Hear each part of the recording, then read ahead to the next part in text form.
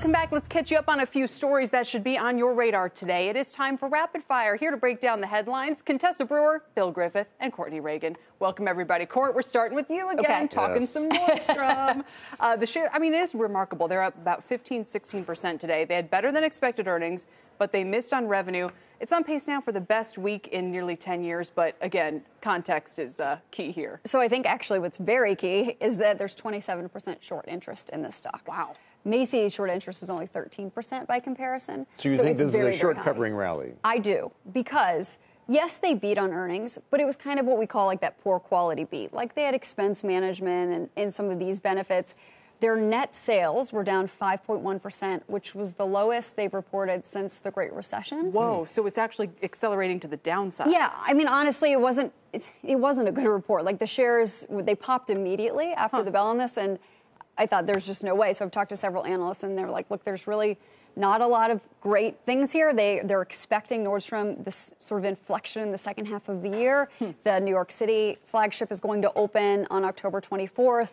But a lot of the analyst community is a little skeptical uh, that they can turn this around. So the trend that we've seen the last week from these retail earnings still holds then. Uh, big box good, department store not so good. Is that the idea? Yeah, pretty much. Pretty After much. yeah. BJ's, I mean, that was that one looked pretty good, right? Yeah, that one looked pretty good too. But again, that's a wholesale club, and there's a lot of value association with a wholesale club, which is like a Costco, Value is everything like right a now. Sam's Yeah. Club, right? Exactly. Well, so I sort of the- put that in the same And you had the category. Cowen analyst who said, hey, maybe they need to consider the consumers who are now looking at the secondhand markets and they, they're used to having coupons. And so Nordstrom is, as a luxury retailer, maybe needs to rethink that. So they Right. actually lowered the price target by $2 now to 30 bucks. That's right. So they You still know, have an Apple it's funny you say. I don't know if you guys saw the Journal did a whole thing over the weekend about reselling clothes, basically, and how hu- huge of a market that's become. And it really, I have to I say, do it. opened my eyes. And I, I now I get it, and I wonder, you know, when we talk about the real, real, and some a lot of these these luxury things that used to go through the Nordstrom channels, how much that's peeling people off. You do Right. that? I do. Yeah, I Do resell my people clothes. know that that's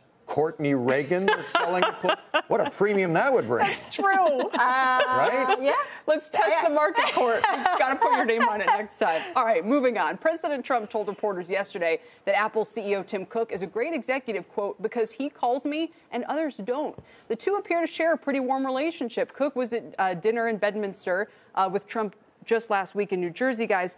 The interesting thing to me about what the president said was he didn't just say, I appreciate that Tim calls me. He's, he was like, why doesn't everybody else do this hmm. too? Don't you think this is making companies who invest in, as the president put it, um, the very expensive consultants rethink their strategy Maybe. if they know that the chosen one will pick up the phone? Right. I mean, if he's That's his telling you words. to give him a call, why? And, and I understand there's pushback, especially Silicon Valley companies, big tech. The other employees hate Trump. I get it. But for Apple, it's not exactly like Tim Cook has gotten a bunch of blowback on this. No, uh, Tim Cook has said, I have heard him say this.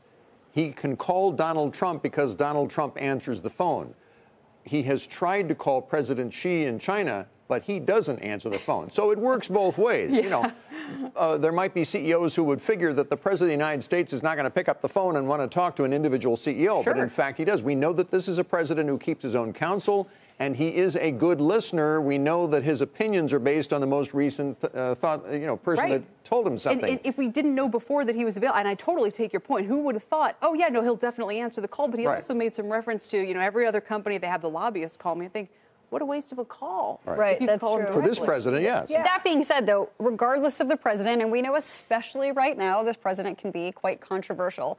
And I do think that there is probably some calculus that companies need or want to do when they are considering following Tim Cook's lead. Should I be calling the president? Yes, it may help my company if I have a closer relationship with him so that I can explain to him how his policy decisions are impacting my business. But how will my consumers feel about that? Right, but don't you think Apple would be the perfect example of a company whose Sure. employees might revolt or customers might revolt, but there's been no evidence of that? That's true. That's a of good yet. point. That's a good point. But I, if it keeps the tariffs down, no revolt. It- Well, right. Right. If it, it saves us $100 on the iPhone, Right. no, I don't know. Uh, next up, let's talk about AMC. The movie theater chain is testing dynamic pricing, meaning it will now charge a premium for movies of the highest appeal and cheaper tickets for films in low demand, rolling this out in 30 venues, including Boston, Columbus, uh, Indianapolis, and San Diego, thinking it'll put more butts in seats. So Oh, I, I've already rolled this out. I mean, I think gas stations should do this now. I think grocery stores should do this now. How about your lo- your local cleaners?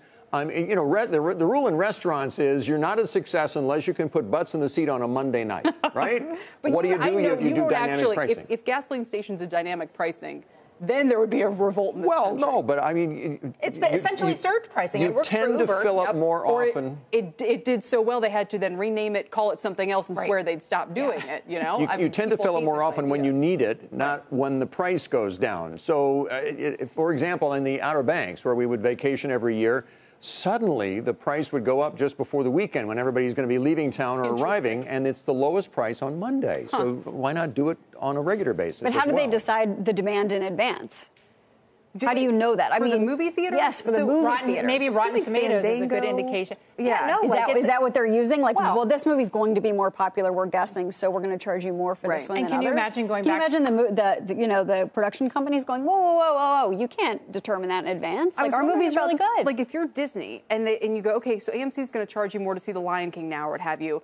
Uh, downside is you might lose a few people. Upside is if the, we're still talking about an increased ticket. So I it, I wonder about that trade. Well, and they're also talking about whether you wait a few weekends and Right. then lower the prices. Yeah. But can you imagine putting up, say, the Avengers against b- the book club, and and and and the, the choice that you're going to have? Maybe you're all of a sudden going to get a lot of teenagers going to see the book club. I, don't know. I think the book club would lose anyway, no matter what the pricing but was. I would love to see this to the down. I might go if I knew And it was going to be. Super I don't even cheap. know what the book club is. oh, you're missing out. Oh, you're missing out. I think I saw the previews and I was like, uh-uh.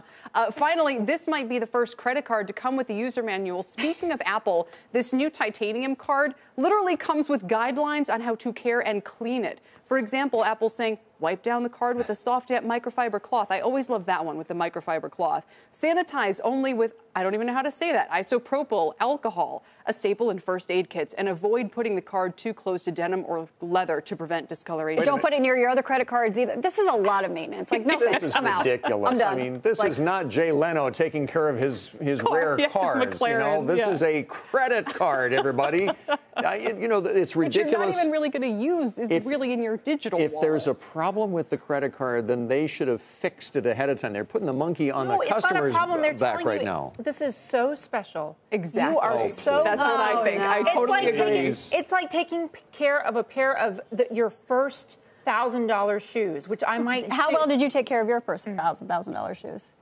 Uh, well, Just they were thousand dollars shoes. They were not a frickin' credit card. I'm just saying that that's what they want. They want this to feel elite, luxurious, superior. This card is going to make you feel like Not you're better than all your friends. We're already at peak Apple Card, and it hasn't even launched and yet. And it hasn't even launched. Okay, when you guys get already one, I want to know if you uh, how you care for I it. I just had to play devil's advocate on that conversation. And- I just want to. No, I fully believe Okay, that. I thank you. believed everything you said. You don't think that's what they're trying And to do it's here? true, I I'm not totally think involved. that's what Also, I'd like to be with them and say I'm out. Count me out. You- If you saw the state of my wallet, you'd understand why. Mine too. It's like the George Costanza wallet. Yeah. It's so bad. It's just stuffed and deactivation right away with this card. I'm then. impressed you can get into the building. That's true.